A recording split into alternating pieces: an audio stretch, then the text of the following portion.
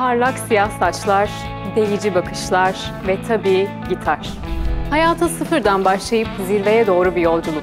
Başta Amerika, sonra tüm dünyayı etkisi altına alan rock'n'roll'un kralı ya da kısaca kral Elvis.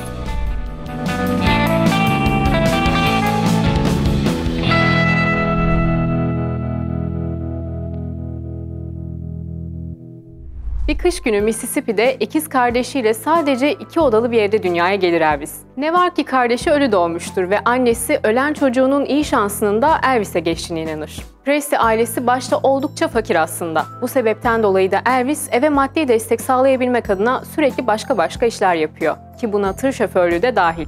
Sık sık civardaki blues gruplarını dinliyor ve kiliselerde de gospel müzikle tanışıyor. 10 yaşına geldiğinde ise Mississippi'de düzenlenen bir gençlik müzik yarışmasında katılarak Old Ship şarkısını söylüyor ve ilk ödülünü almış oluyor. When I was a lad,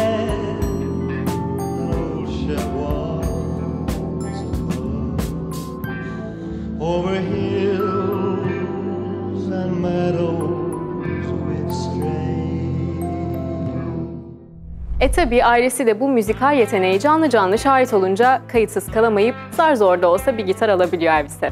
Küçükken görüntüsü hep diğer çocuklardan farklıydı. Saçları o zamanın standartlarına göre daha uzundu ve giyimi de maddi şartlarına rağmen hep şık ve dikkat çekiciydi. Aslında kendi isteğiyle böyle bir görünüme sahipti ama yaşıtları tarafından da bu marjinalliğinden ötürü hep dışlanırdı.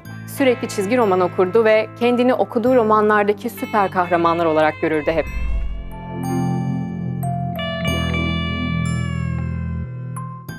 ...20 yaşında sahneye çıkıp şarkı söylediği bir gün... ...daha önce hiç kimsenin yakalayamadığı enerjiyi yakalar Elvis. Herkes kendinden geçer. Büyük bir izdiham yaşanır. O gün o sahneyi izleyen biri vardır ki... ...Elvis'in kariyerini ve hayatını tümden etkileyecektir. Albay Tom Parker.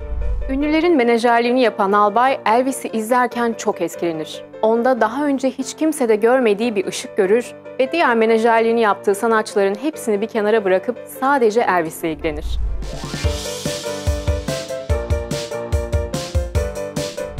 Elvis stüdyoya girer ve şarkılarını kaydetmeye başlar.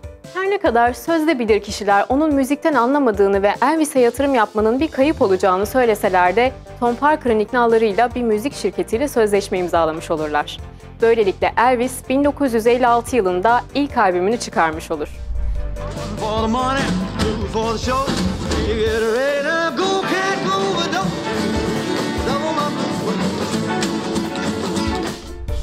Albüm daha çıkar çıkmaz halkı ikiye böler. Gençler ve özellikle de kadınlar Elvis'e deli olurlarken yaşlılar ve hatta hükümet Elvis'in gençlik ve ahlaki değerler için bir tehdit unsuru olduğunun kanaatindedir.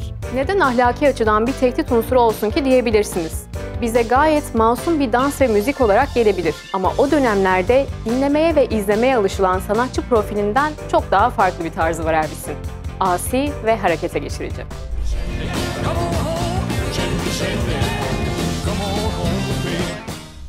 Özellikle devlet tarafından bu kadar göze batınca menajeri hemen devreye girer ve Elvis'e yeni ve uslu bir görünüm kazandırmak ister. Onun her ne kadar gönlü olmasa da Tom Parker'ın ısrarlarıyla üzerine bir frak giyer ve dans etmeme sözü vererek o dönemin en ünlü televizyon şovlarından birinde Dog performansını sergilemek üzere çıkar.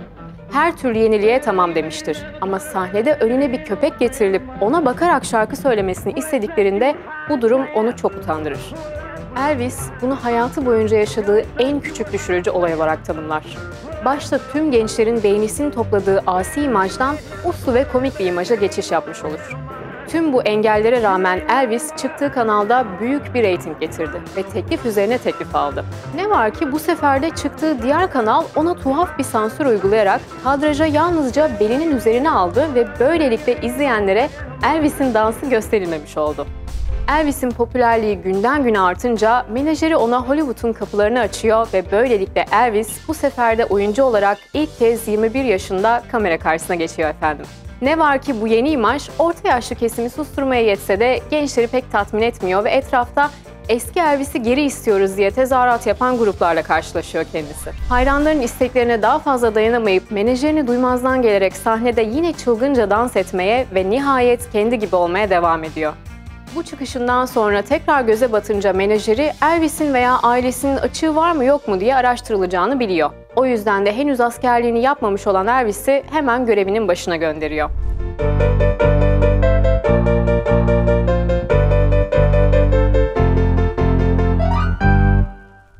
Askere alınırken saçları kesilen ve üzerine üniforma geçirilen Presley tam da bazılarının istediği gibi örnek bir Amerikan genci. Yalnız görevinin başındayken annesinin hastalandığını duyunca hemen askerden izin alır ve eve geri döner. Ne var ki anne Presley, oğlunun onun için aldığı Graceland malikanesinde son nefesini verir. Geriye annesinin ölümünden dakikalar sonra basın tarafından çekilmiş Elvis ve babasının acı dolu fotoğrafları kalır.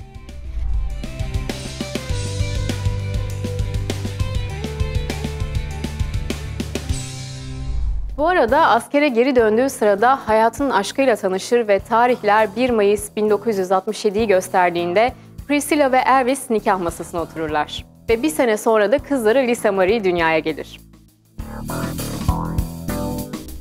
Elvis kariyerine yeni çıkardığı şarkılarla aynı ismi taşıyan filmler çekmeye devam etti. Daha az parayla daha çok film üretti ama hiçbir filminde hayalini kurduğu performansı sergileyemedi ve klasikleşen bir filmi de olmadı. E bu durumda onu tatmin etmeyince menajeri ona bir geri dönüş konseri ayarladı. Meşhur Comeback Special.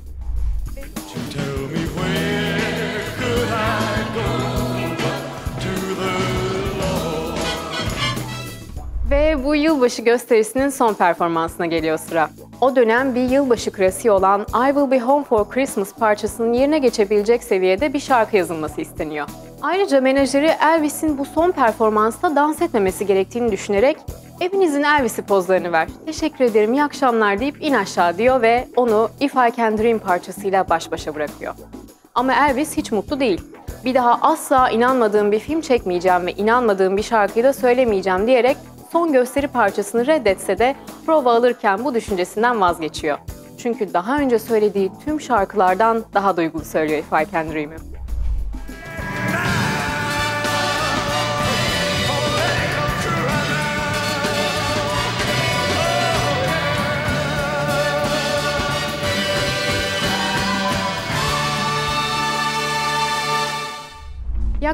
Yıl sonra Tom Parker, Las Vegas'taki bir otelin sahnesinde çok büyük bir konser ayarlıyor. İzleyicilerdeki reaksiyonu görünce bunun müşteri çekmek için harika bir fırsat olduğunu düşünen otel sahibi tüm masrafları karşılama sözü vererek menajer Tom Parker'la 14 gün sürecek ve toplam 57 konserlik bir sözleşme imzalıyor. Tekrar söylüyorum. 14 günde 57 konser. Yani her güne 2 konser demek oluyor. Menajeri yaparsın sen, aslansın, kaplansın diye gazlayıp emrivakiyle bu sözleşmeyi ona imzalatmış olsa da bu yoğun tempoda sağlığı bozuluyor tabii kralımızın. Serumlar ve başka maddelerle ayakta kalmaya ve güç toplamaya çalışıyor. Ki bu yoğun konser programının kabul edilmesinin altında yatan asıl sebep menajerinin kumar borçlarını kapatmak istemesi. Yani sözleşme imzalayıp tüm borçlarını sildiriyor. Tabii Elvis bunu çok sonradan öğrenecek. Hatta öğreneceği başka bir gerçekse kariyerinin başından beri tüm gelirini yarı yarıya paylaştığı ve albay olarak bildiği menajerinin aslında albay olmadığı, Hollanda'dan kaçak olarak Amerika'ya yerleştiği ve hatta Hollanda'da bir cinayet olayına karıştığı falan filan. Ama şimdi bunları da anlatırsam o saatler sürer. O yüzden geçiyorum. Sahnede şimdiye kadar hiç sahip olmadığı kalabalıkta bir orkestra vardı ve en büyük konserlerini de verdi bu otelde.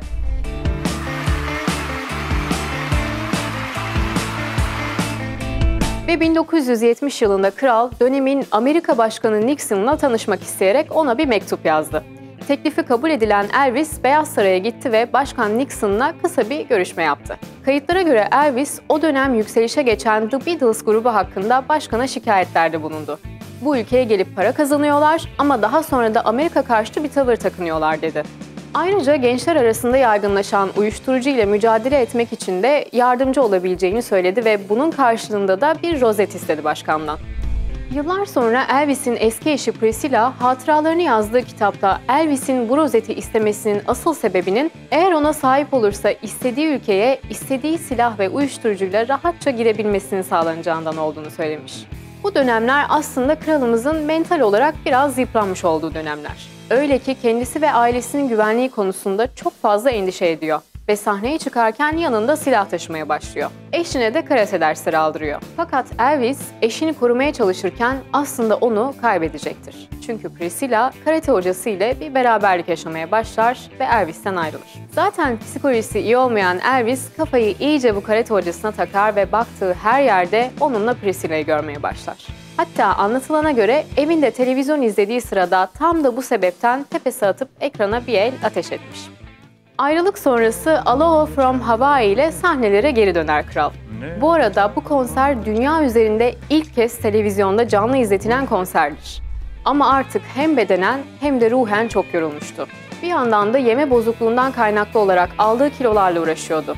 Genç ve yakışıklı halinden artık pek bir eser kalmamış, huysuz ve alkolik bir adam olmuştu. Konser verecek gücü de pek kendisine bulamıyordu. 2-3 şarkıdan sonra nefes nefese kalıyordu zaten. Ama o gün piyanonun başına geçti ve gözlerini kapattı. Her zaman söylediği gibi son bir kez daha şarkı söyledi. Takvimler 16 Ağustos 1977'yi gösterdiğinde ise kral son nefesini verdi. Sebep olarak kalp yetmezliği gösterildi ama buna inanmayanlar da çoğunluktaydı. Geriye onlarca albüm, onlarca film ve tabii ondan sonra yetişecek olan sanatçılar için büyük bir ilham kaynağı bıraktı.